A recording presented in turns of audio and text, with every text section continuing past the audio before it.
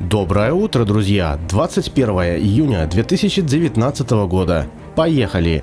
В мире в этот день празднуют. С целью повышения осведомленности отмечается Международный день йоги. Всемирный день гидрографии был учрежден в 2006 году.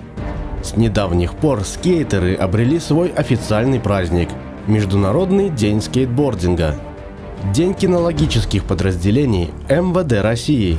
День кинолога. День селфи – одного из трендов 21 столетия. Федор Колодезник в народном календаре. С этого дня начиналась навозница. Так называли время, когда вывозили навоз в поле. Знаменательное событие. 1893 год. Первый аттракцион «Колесо обозрения» или «Чертово колесо» появилось на выставке в Чикаго.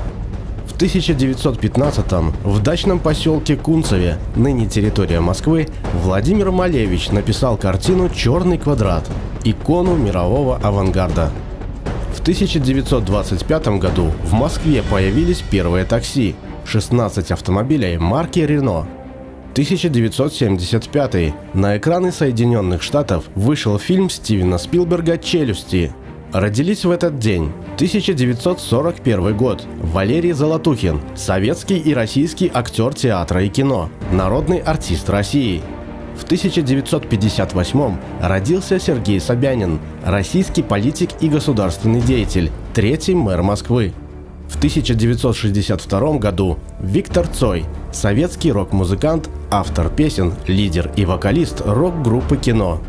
1965 родился Ланна Ларри Вачовский, американский сценарист и кинорежиссер.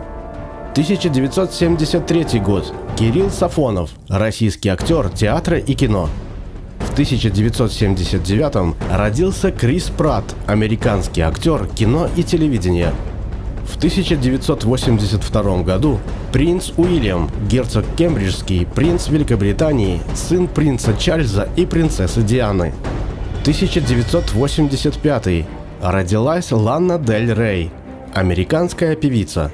Этот день по лунному календарю до 23 часов 58 минут по московскому времени сдержанность и благоразумие – оптимальное состояние, которое желательно поддерживать в этот день. Сохраняйте трезвость ума, объективно оценивайте себя и окружающих людей.